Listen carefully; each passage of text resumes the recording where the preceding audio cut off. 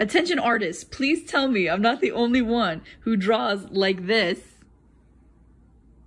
But their handwriting looks like this.